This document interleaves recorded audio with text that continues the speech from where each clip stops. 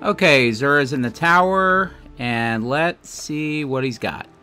My will is not So let's have some good stuff. All right, Wardcliff Coil. Hey, this is a great weapon if you don't have it. It's great in PvP. You can also use it uh, to spam against. It basically just throws out a bunch of rockets. You can pair it well with like an arc build. Works really well. Celestial Nighthawk. Um, this is definitely good. It's not as meta as it used to be, but it allows you to do extra DPS with your uh, Golden Gun. One-Eyed Mask. Again, not as great as it used to be. Um, this is a it's okay roll. Um, again, it can be useful in PvP, but they nerfed it to the ground at one point. I, and again, the Celestial Nighthawk, just going back there, that's not a bad roll. I could definitely pick that one up. And Apotheosis Veil. So again, this one you can use in certain builds. It might be useful. It's not something you're gonna. It's really niche. Um, and the 17 recovery is pretty good. So overall, an okay day.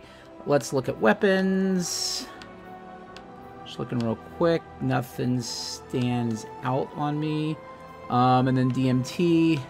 Again, nothing stands out. Okay, that's it. You know, kind of average day. Uh, definitely pick some of these if you don't have them. Wardcliff's definitely a good pickup, and I'll see you guys later.